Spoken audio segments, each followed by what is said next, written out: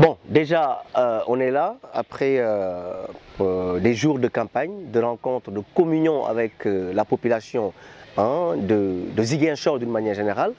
Et on a le devoir, l'obligation de dire à cette population de voir leur choix.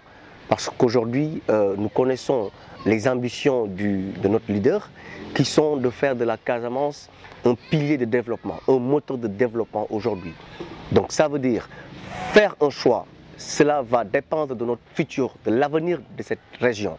Et que le bon choix, c'est la liste de euh, Beno Bokuyakar, qui est vraiment une coalition gagnante qui est en train de faire ses preuves avec des leaders confirmés, des leaders affirmés, des leaders responsables, des leaders qui tiennent au développement soucieux et, surtout au développement socio-économique de la Casamance. Et ce qui se passe actuellement, cette manière de faire de la politique d'une manière très violente, est vraiment décevante. Et on ne peut pas laisser à des personnes irresponsables, on ne peut pas laisser à des personnes euh, qui ne pensent qu'à eux.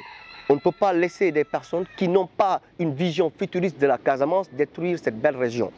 Et après plus de 30 ans de problématiques, après plus de 30 ans de crise casamançaise, on ne peut plus avoir des personnes, soi-disant leaders, qui ont des discours vraiment de violence. Ça, nous disons non. Et c'est aussi de notre plein gré de pouvoir rencontrer cette population, leur dire aujourd'hui on doit voter pour la continuité, on doit voter pour le développement, on doit voter pour l'avancement de cette très belle région. Donc aujourd'hui, c'est ce que notre leader Doudouka nous, nous a demandé, de rencontrer les populations comme on a toujours l'habitude de le faire, de les accompagner, de les assister.